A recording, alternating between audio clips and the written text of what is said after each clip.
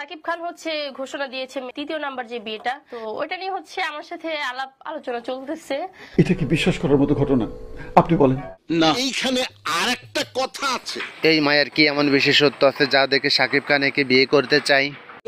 কিন্তু তোমরা না জানলিও মই কিন্তু যাইনে ফেলাইছি।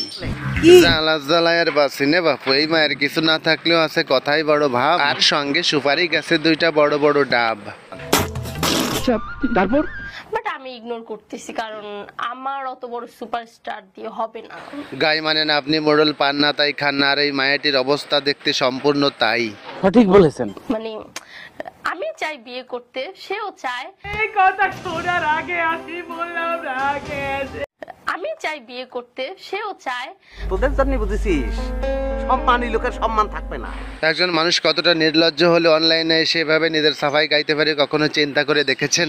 আমি এত চিন্তা ভাবনা করতে পারব না আমার মাথা মুতা কিছু কাম করতেছে না। জ্বালা জ্বালায়ের বাসিনে এই মায়ের তো এখনও মুখ টিপ দিলে দুধ বেরোবে অথচ ওই মেয়ে পাকামি করছে সেই লেভেলের। তো একটা কথা আমি কিছুতেই বুঝতে পারতেছি না সাকিব খান কি দেখে এই মায়াকে বিয়ে করতে চাচ্ছে? সে কি এই মেয়ের ভিতরের খবর জানে? সব এখন বাইরেরটাই শুধু দেখে ভেতরেরটা আর কেউ দেখে না। কিন্তু বিয়ের দুদিন পর তো শাকিব খান ঠিকই ভেতরেরটা দেখেই মেয়েকে ছেড়ে দেবে তখন কি হবে? দীর্ঘ বিরতির পর আবারও নতুন ভিডিও নিয়ে আপনাদের মাঝে হাজির হলাম। সবাই ভিডিওতে লাইক কমেন্ট শেয়ার করে দিবেন।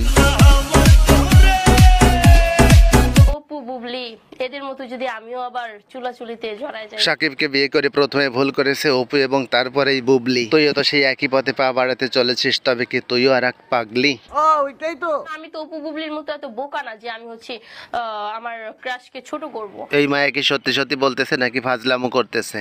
ফাইজলামির একটা সীমা আছে। বিয়ের সাথে সাথে অপু বুবলির মতো একটা করে বাচ্চা নিও।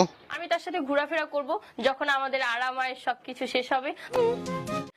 তাকেই আমি বলব, বেবি, তুমি কি বেবি নিবা? তখন সে যদি বলে, নিতে তাহলে নিবা না, হলে নাই।